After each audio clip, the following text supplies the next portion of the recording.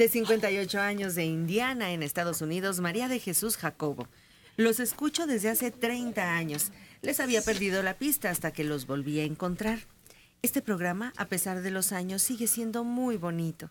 Llevo acá 18 años viviendo. Trabajo ¿Dónde? ¿Dónde? en Indiana, en Estados Unidos. Trabajo en una fábrica de autopartes para casas rodantes y automóviles.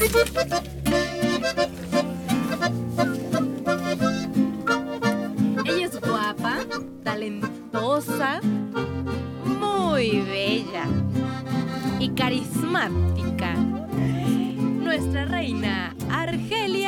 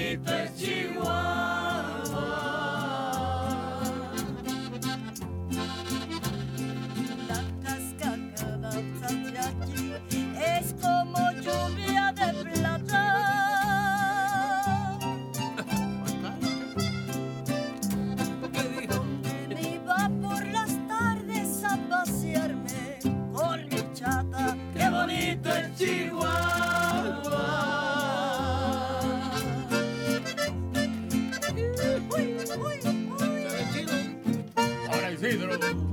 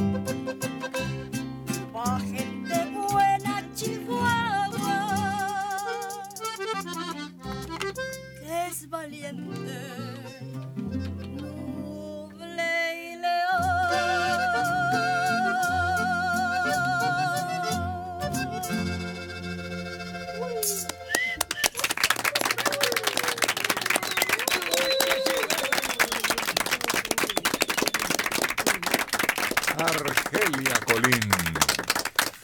Oye, yo creo que lo más popular, conocido, hasta aparece en películas, es el perrito, ¿no? El perrito. Ah, ¿cuál perrito tú? No, yo me acordé de uno, pero dije, no, a ver, ¿cuál perrito? Lassie. ¿Cuál? Rintintín. Lassie, Rintintín. Es que yo me acordé, ¿sabes cuál? De la marca del- de los discos. Y que el perrito está escuchando este la voz de su dueño, ¿no? Por eso De me- su amo. Sí, por eso me acuerdo. Porque dije, ¿cuál perro? ¿Cuál perro? Pues hay uno que se denomina así. Échale, échale, échale, piensa. Y hasta le hicieron una película. Uy, varias canciones. ¿Canciones? Claro, hay una canción que dice. Y lo sigue. ta, ta, ta, ta, ta, ta. ¿Cómo Creo que es dice, de Lu pues? Vega No oigo. también. Pues le voy a decir y para qué quieres. Sí, sí, le pues ya, pobrecita, para no puede que- más. No, dime. más- Amplíe su imaginación. Hace un año salió la película de la vida de Javier Cugat y se llama Música, Sexo y Chihuahuas. Ah, ah, claro, el Chihuahua. Ujú, Sí, sí, cierto. Y han sacado un montón de películas de Chihuahua. Hay una canción de Lu Vega que dice Chihuahua, chaca, chaca, chaca, chaca, chaca, no sé qué más. ¿No es tequila? No, Ah, no, Chihuahua.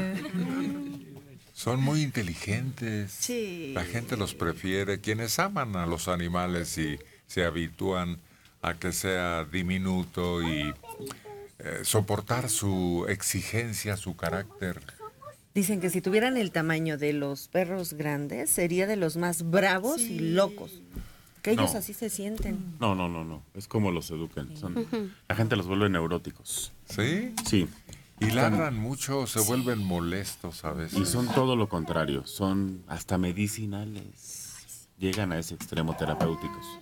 Yo tengo un chihuahua y realmente es tranquilo mi perro. Se llama chihuahueño, vamos. Bueno, chihuahueño. por.